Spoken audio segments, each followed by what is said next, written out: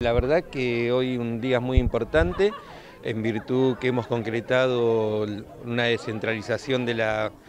de la unidad fiscal de Melincue, ampliar una nueva unidad fiscal en la localidad de Firmat y esto fue el esfuerzo que tuvieron varios actores, tanto políticos de la ciudad como de la región e institucionales para que este se lleve a cabo. El primer paso que dimos con esto fue que hay una decisión del fiscal general, el doctor Baclini, de que en todas las ciudades con mayor de 20.000 habitantes tengan su propia unidad fiscal. Sabemos que hay una distancia y eh, con Melincués, que por ahí son 27 kilómetros, pero los medios de, eh, los medios de transporte por ahí no son los más adecuados y queríamos tener una atención dentro de la segunda ciudad en importancia de la región. Asimismo, este proceso también tuvo una etapa previa que fue la designación de la fiscal Vanini Servido Pozzi, que para esta hubo, eh, hubo buena predisposición de parte de la Secretaría de Justicia, de Subsecretaría de Justicia de la provincia de Santa Fe,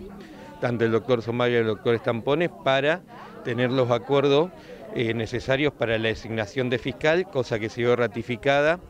en el Poder Legislativo con el acompañamiento de todos los diputados y el senador de la región.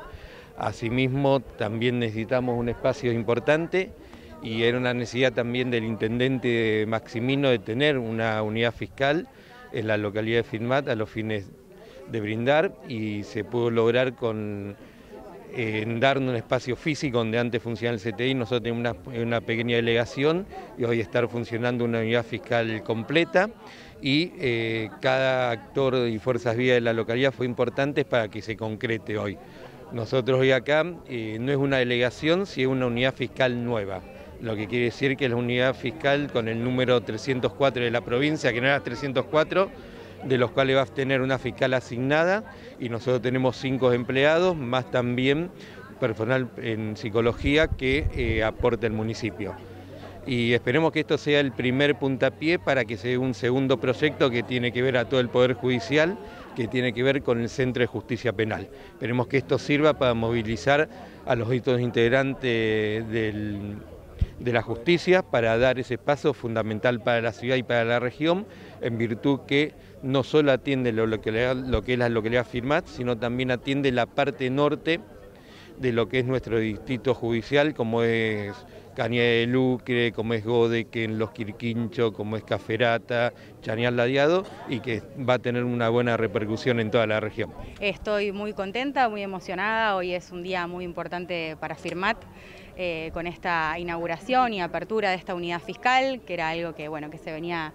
que se venía proyectando y gestando y por suerte se pudo dar. Eh, por suerte, bueno, para mí también que soy firmatense, está, está bueno tener, tener esto, esta unidad fiscal acá. Eh, como vos dijiste, yo hace años que vengo trabajando, ya desde, desde la época de que el doctor Merlo era fiscal en Melincue.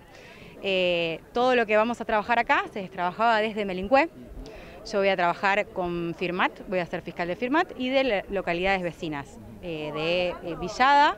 de Cañada de Lucle y de Miguel Torres. Y hoy, gracias a esta inauguración, vamos a estar acá, vamos a atender eh, a la gente desde acá, desde Firmat, vamos a estar más cerca, estoy así que muy contenta, muy contenta con el equipo de trabajo que tengo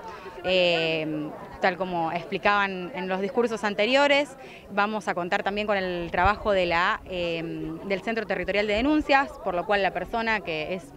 eh, afectada, que es víctima de un delito, eh, puede venir directamente acá a denunciar y desde ese mismísimo momento ya le damos inicio al legajo de investigación, dictamos todas las medidas necesarias tendientes a eh, lograr esclarecer si hay algún hecho ilícito, así que vamos a poder realizar todo ese mismo trabajo desde, desde acá, desde Firmatas. vamos a trabajar todas las causas, no solamente los hechos de acá en adelante, sino que también los hechos anteriores, así es, los hechos anteriores que no estén en juicio, también los vamos a trabajar por lo cual esta mudanza es una verdadera mudanza con legajos de investigación, o sea que vamos a seguir trabajando con eso.